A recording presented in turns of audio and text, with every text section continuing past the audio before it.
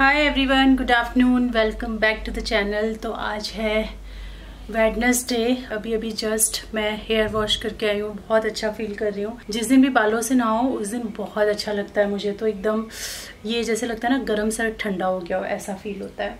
और बाल भी मेरे खूब हैप्पी हैप्पी हैं बिकॉज़ आज मैंने बढ़िया से कंडीशनिंग एंड शैम्पू किया है। और मैंने यूज़ की है ममा अर्थ की ये एग प्लेक्स रेंज जिसमें है शैम्पू एंड कंडीशनर यही मैंने यूज़ किए हैं। और पिछले कुछ दिनों से मैं यूज़ कर रही हूँ दो तीन वॉश में इससे कर चुकी हूँ। तो एग हमारे हेयर के लिए कितने अच्छे होते हैं। बहुत सारे लोग एग मास्क लगाते हैं जिनको मतलब उसकी स्मेल से प्रॉब्लम नहीं है और एग लगाने में प्रॉब्लम नहीं है। बिकॉज़ मुझे थोड़ी उसकी स्मेल से प्रॉब्लम होती है तो मैंने कभी यूज़ नहीं किया। लेकिन एग जो है हमारे बालों के लिए बहुत अच्छा होता है। अगर जो लोग यूज़ कर सकते हैं तो वेल एंड गुड है। उसके अंदर ढेर सारा प्रोटीन होता है बायोटीन होता है, जिससे हमारे हेयर में आती है फ्लेक्सिबिलिटी स्ट्रेंथ आती है शाइन तो बहुत सारी ऐड होती है। तो जो लोग नहीं यूज़ कर सकते हैं एग मार्क्स ऐसे, उनके लिए बहुत अच्छा ये ऑप्शन जो है ममा अर्थ ने निकाला है egg plex shampoo and conditioner का। थोड़ा सा ही आप शैम्पू लेते हैं, बहुत अच्छा सा फॉर्म आ जाता है और देन कंडीशनर यूज़ करने के बाद आपके बाल काफ़ी सॉफ्ट शाइनी फील होते हैं। शैम्पू के अंदर है एग प्रोटीन साथ ही आपको मिलता है collagen and keratin egg protein boost करता है हेयर ग्रोथ को रिड्यूस करता है ब्रेकेज और रिपेयर करता है आपके डैमेज हेयर को। साथ ही कोलेजन पावर हाउस है प्रोटीन का, जो कि आपके हेयर को स्ट्रेंथ देता है और उनको जो थिनिंग होती है ना हेयर में, उससे प्रिवेंट करता है। जैसा मैंने बताया, इसके अंदर है कैरिटन जो कि आपके हेयर को स्ट्रेंथन करता है स्मूथ करता है और रिड्यूस करता है ब्रेकेज और स्प्लिट एंड्स को। सबसे जो अच्छी मुझे बात लगी शैम्पू के अंदर, ये बहुत थोड़ा सा भी अगर आप लेते हो ना तो बहुत अच्छा फॉर्म जनरेट होता है। बस बढ़िया से आपको थोड़ा सा ले करके जेंटली मसाज करना है बालों को और उसके बाद वॉश करना है, एक बार, दो बार जो भी आप शैम्पू लगाते हो, उसके बाद वॉश करके आपको कंडीशनर यूज़ करना है। और बिलीव में इसको यूज़ करने के बाद बाल बहुत ही सिल्की शाइनी और मैनेजेबल लगते हैं। ये शैम्पू एंड कंडीशनर जैसा मैंने बताया, मैंने दो तीन बार यूज़ किया है और बालों पे विजिबल इफ़ेक्ट आपको पता चलेगा। तो अगर आपको भी एग की गुडनेस चाहिए अपने बालों में तो एक बार ये शैम्पू एंड कंडीशनर ट्राई करके ज़रूर देखिएगा, आपको पसंद आएगा। साथ ही ये शैम्पू और कंडीशनर की रेंज मेड सेफ़ सर्टिफाइड है डर्माटोलॉजिकली टेस्टेड है और सभी हेयर टाइप को सूट करती है। आप भी अगर एग लगाना पसंद नहीं करते हैं, आपको भी वो मैसी टास्क लगता है तो ये वाली रेंज आप ट्राई कर सकते हैं। इसके लिंक सारे आपको डिस्क्रिप्शन में मिल जाएँगे। साथ ही आपको मिलेगा 20 परसेंट का डिस्काउंट अगर आप मेरा कोड होम 2022 यूज़ करते हैं स्क्रीन पे एंड डिस्क्रिप्शन में मैं मेंशन कर दूँगी।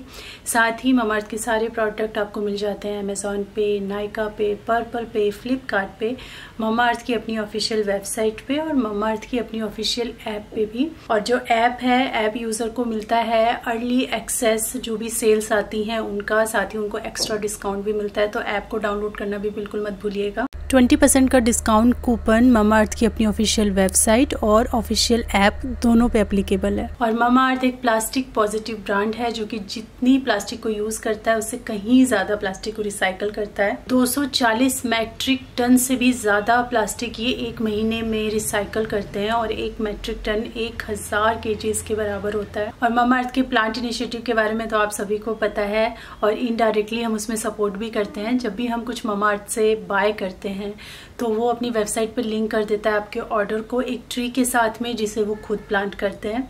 और इस तरीके से ममा अर्थ ने एम किया है बाय 2025 लगभग वन मिलियन ट्री प्लांट करने का। सारे ही प्रोडक्ट नेचुरल और केमिकल फ्री हैं लिंक डिस्क्रिप्शन में है चेकआउट करना बिल्कुल मत भूलिएगा। अभी मैं खाने जा रही हूँ वन एप्पल फ्रूट खा लेती हूँ बिकॉज़ अर्ली लंच कर लूँगी ना तो फिर और तीन चार बजे के आसपास मुझे भूख लग जाएगी। तो अभी कुछ नहीं खा रही हूँ जस्ट वन एप्पल मैं कट करूँगी पील करूँगी और इसको खाएँगे और अपना काम करेंगे। मैंने वीडियो एडिट करके रखी है वॉइस ओवर करना है देन आप लोगों को वीडियो पहुँचानी है जल्द से जल्द। ऑलरेडी वन ओ हो चुका है तो अभी मुझे उसमें कम से कम दो ढाई घंटा मे बी थ्री आवर्स और लगेंगे। तो चलिए पहले एप्पल खा लेते हैं, फिर सारा काम निपटाने के बाद मैं आपसे मिलती हूँ। हो सका तो बीच में मिलूँगी अदरवाइज़ फिर अपना काम निपटाने के बाद मिलती हूँ आपसे। वीडियो एडिट करने के बाद सब्ज़ियाँ थी कुछ जो सुबह की आके रखी हुई थी, वो मुझे वॉश करनी थी। अभी मैं रेडी हो चुकी हूँ सिद्धार्थ को स्कूल से लाने जाने के लिए। बट अभी थोड़ा सा समय था, पंद्रह मिनट के आसपास का कुछ एक्स्ट्रा मेरे पास तो मैंने सोचा वेस्ट क्यों करना। चलो, मैं ये सब्ज़ियाँ धो के रख देती हूँ। तो जब तक मैं सिद्ध को वापस ले करके आऊँगी, तब तक ये जो पानी है ना, इसका सारा निथर जाएगा तो मैं इसको फ्रिज में अरेंज कर सकती हूँ। और कई सारे लोगों ने फिर से ये जो बास्केट में यूज़ कर रही हूँ वेजिटेबल्स वॉश करने के लिए इसके बारे में पूछा है। पहले भी काफ़ी लोगों ने पूछा था तो मैंने इसका लिंक भी एक बार दिया था और बताया भी था। बट अभी फिर से ना क्वेश्चंस आ रहे हैं सेम बास्केट के लिए कि आपने कहाँ से ऑर्डर किया है। ये मैंने अमेज़ोन से नहीं लिया था, लेकिन एकदम सिमिलर इवन जो ब्रांड है वो भी एकदम सिमिलर अवेलेबल है अमेज़ोन पे। तो आज आपको लिंक मिल जाएगा डिस्क्रिप्शन में, जिसको चाहिए वो बाय कर सकते हैं। और एक बात बताऊँ मैं ये सिर्फ़ एक ऐसे टब टाइप का छोटा सा बास्केट टाइप का नहीं है ये एक्चुअल में एक चॉपिंग बोर्ड है तो आप इस पर चॉपिंग भी कर सकते हो देन वॉश भी कर सकते हो। मैं इसको चॉपिंग के लिए यूज़ नहीं करती हूँ बट ये बहुत काम की चीज़ है। लिंक आप देख लेना डिस्क्रिप्शन गुड इवनिंग एवरीवन बाप रे कैसी लग रही हूँ मैं? ऐसा लग रहा है सो जाऊँ बस। देखो आँखों में पता नहीं नींद चढ़ी है क्या चढ़ा हुआ है अजीब सा फेस लग रहा है। तो अभी बहुत लेट हो गया आज, बहुत लेट हो गया। है कुछ इम्पोर्टेंट काम थे उसमें मैं इतनी बिज़ी हो गई थी। कुछ अपने पर्सनली काम थे जिनमें थोड़ा ज़्यादा बिज़ी हो गई मैं और उसकी वजह से डिनर आज हो गया बहुत लेट जनरली इस टाइम तक डिनर बन जाता है और मैं तो खा भी चुकी होती हूँ। तो आठ बज रहा है अभी बट डिनर तो अब बनाना ही पड़ेगा और जो सोचा है वही बनाना पड़ेगा। बिकॉज़ कुछ चीज़ें ऐसी हैं जो ख़राब हो जाती हैं, उसे आप नहीं रख सकते या आगे के लिए शिफ्ट नहीं कर सकते। ये मशरूम है। तो आज हस्बैंड जब सिद्धार्थ को स्कूल छोड़ने गए थे तो मैंने उनसे प्याज मंगवाए थे। तो जब वो सब्ज़ी की दुकान पे प्याज लेने गए तो उन्हें दिख गए मशरूम और कुछ बहुत ऐसी फ्रेश फ्रेश और सब्ज़ियाँ दिख गई। तो वो लेकर आ गए कई सब्ज़ियाँ जबकि घर में उतना ज़रूरत नहीं था। और मशरूम क्या है? वॉश हो गई हैं। तो इनको अब मैं रख नहीं सकती, इनको आज ही बनाना पड़ेगा, नहीं तो फिर वो ख़राब सी हो जाती है। और इतनी फ्रेश मशरूम को ख़राब करने का किसका मन करेगा? तो ये मशरूम बनाऊँगी। और बहुत ही ना डिफरेंट टाइप की थोड़ा सब्ज़ी मैं बना रही हूँ। बिना प्याज, लहसुन वाले मशरूम आज बनेंगे घर में। तो अभी उनको करते हैं शुरू। और ये मैं बनाने जा रही हूँ। देखिए कितने फ्रेश फ्रेश ग्रीन अनियंस तो थोड़े से तो मैं थोड़ा गार्निश वगैरह के लिए सैलेड पे डालने के लिए रख दूँगी। बाकी ये वॉश करके रखे हैं तो इनको भी यूज़ करना है। इसके आज मैं पराठे बनाने जा रही हूँ। ग्रीन अनियन के पराठे बहुत टेस्टी बनते हैं। तो जो हमारी सब्ज़ी बनेगी, उसमें कोई भी प्याज लहसुन नहीं होगा बिकॉज़ इतना सारा प्याज हम यूज़ करने वाले हैं तो वो बिना प्याज लहसुन के बन रही है, और ये मैं प्याज के पराठे बनाने जा रही हूँ। तो चलिए स्टार्ट करते हैं। आज का डिनर बनाते हैं। बहुत ही यमी होने वाला है। भूख अभी से लगी हुई है बट हाँ एक डेढ़ घंटा तो लगेगा बनाने में। तो यहाँ पे मैंने टमाटर लिए हैं। ये जो दो टमाटर हैं ये जो कलर वाले टमाटर होते हैं ना हाइब्रिड टमाटर, वो हैं। और ये हमारे देसी वाले हैं। तो बहुत ज़्यादा ना मैं खट्टा नहीं करना चाहती, इसलिए एक ये लिया है, दो ये वाले ले रही हूँ बिकॉज़ कलर अच्छा सा खुल के चाहिए। साथ ही यहाँ पे लूँगी मैं अदरक। तो इनको चॉप कर लेते हैं थोड़ा थोड़ा सब्ज़ी जो मैं बना रही हूँ, एक तो बिना प्याज, लहसुन की है, और दूसरा आज मैं इसमें एकदम ज़रा सा तेल यूज़ करने वाली हूँ, क्योंकि पराठे बन रहे हैं, थोड़ा बहुत घी उसमें यूज़ होगा ही।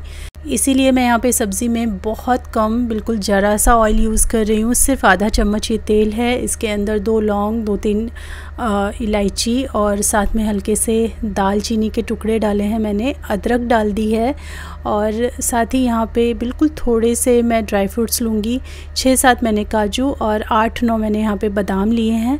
आप चाहें तो पूरे भी काजू डाल सकते हैं, लेकिन आ, मैं दोनों को थोड़ा थोड़ा करके डाल रही हूँ। काजू और बादाम को हल्का सा भून लेना है। जब ये हल्का सा कलर चेंज कर देंगे तब हमने जो टमाटर चॉप करके रखे हैं वो हम इसमें ऐड कर देंगे। थोड़ा सा नमक डालेंगे इसके अंदर और इसको हम ढक करके पकने के लिए छोड़ देंगे। जब ये टमाटर सॉफ्ट हो जाएँगे तो हम इसको ठंडा करके इसका पेस्ट बना लेंगे। टमाटर हमारे पक रहे हैं। तब तक हम यहाँ पे ये जो हमारे ग्रीन अनियन है इनको कट कर लेंगे।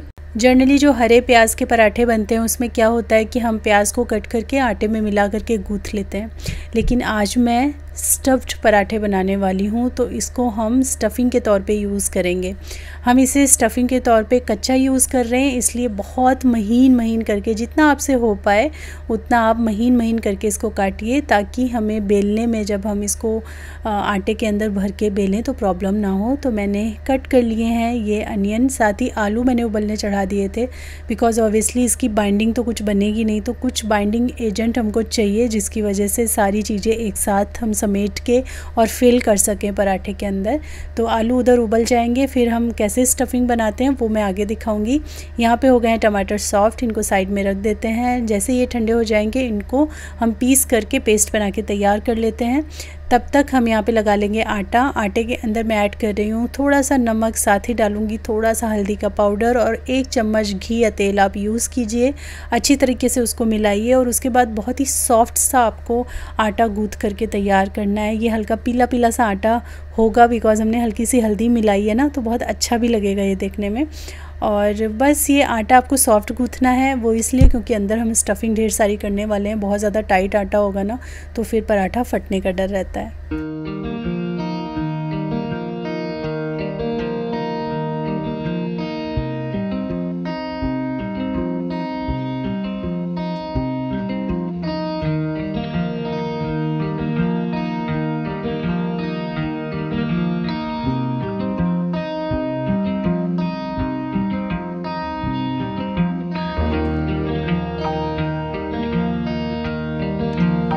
ये जो टमाटर और ड्राई फ्रूट्स का मसाला हमने पीसा है ना, इसको सेम कढ़ाई के अंदर आप एज इट इज़ ऐड कर दीजिए।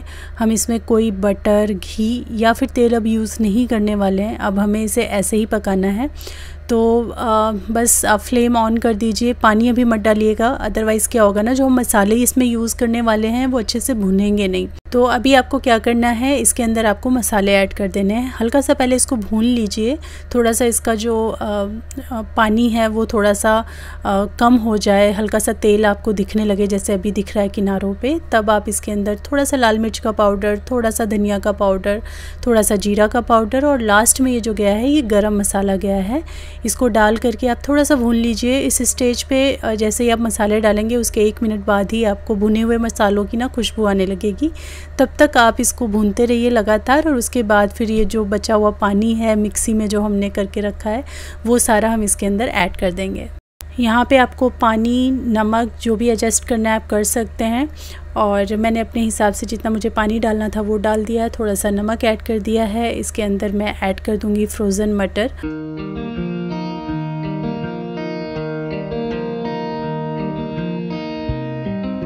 मटर को वॉश करके डाल दिया है। साथ ही मैंने मशरूम जो है वो भी ऐड कर दिए हैं। दोनों को पकने में लगभग सेम टाइम ही लगेगा और मशरूम भी काफ़ी सारा पानी रिलीज़ करती है तो आप उसी हिसाब से इसके अंदर पानी ऐड करें।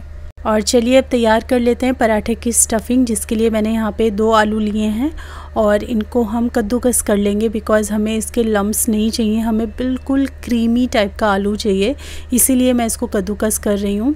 उसके बाद हम इसके अंदर मिलाएँगे जो ढेर सारे हमने स्प्रिंग अनियंस कट करके रखे हैं वो। आलू आपको कम ही लेना है बिकॉज़ आलू के पराठे हम नहीं बना रहे हैं, लेकिन हाँ उसको बाइंड करने के लिए जो स्प्रिंग अनियन है, उसको बाइंड करने के लिए थोड़े से आलू की ज़रूरत ज़रूर पड़ती है। थोड़े मैंने पहले स्प्रिंग अनियन डाले, अच्छी तरीके से मैश किया और मुझे लगा कि इसमें अभी आलू ज़्यादा लग रहा है मुझे तो फिर मैंने और धीरे धीरे करके लगभग सारे ही स्प्रिंग अनियन इसमें ऐड कर दिए हैं। हमें इसके अंदर स्ट्रॉन्ग प्याज का फ्लेवर चाहिए, ना कि आलू का। थोड़ा बहुत तो देखिए आएगा ही, क्योंकि हमने यूज़ किया है बट इसमें ज़्यादा आपको स्प्रिंग अनियन और थोड़े से आलू यूज़ करने हैं। स्टफिंग में हमने नमक ऐड कर दिया है। चिली फ्लेक्स भी हम इसके साथ ही ऐड कर देंगे। थोड़ा सा हम चाट मसाला इसके अंदर डालने वाले हैं। और बस सारी चीज़ों को अच्छे से मिला दीजिए। चाहिए तो हरा धनिया आप इसमें डालिए, उससे फ्लेवर काफ़ी अच्छा आता है। सारी चीज़ों को मिक्स कर लीजिए और बस ये हमारी स्टफिंग बन तैयार है।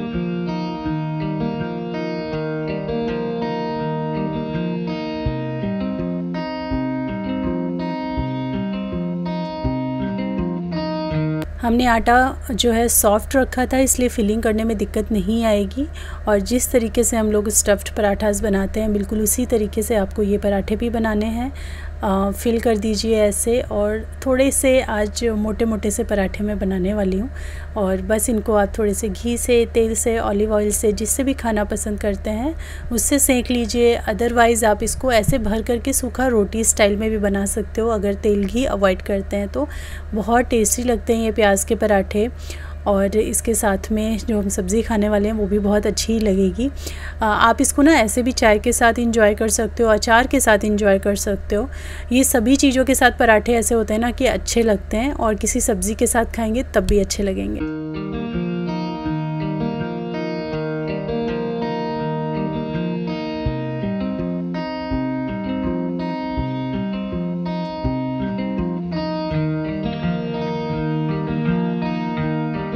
सब्ज़ी बन चुकी थी, लेकिन वो मैं बाद में आपको दिखाती हूँ, सिद्धार्थ काफ़ी, क्योंकि मैंने जैसा बताया ना, वीडियो की शुरुआत में लेट हो गया था डिनर में तो काफ़ी भूखा था।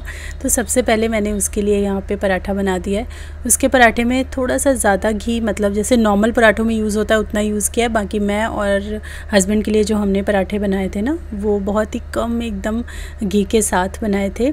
और ये हमारी बिना प्याज, बिना लहसुन, बिना ज़्यादा तेल और ना ही किसी क्रीम और मलाई, ना ही दूध।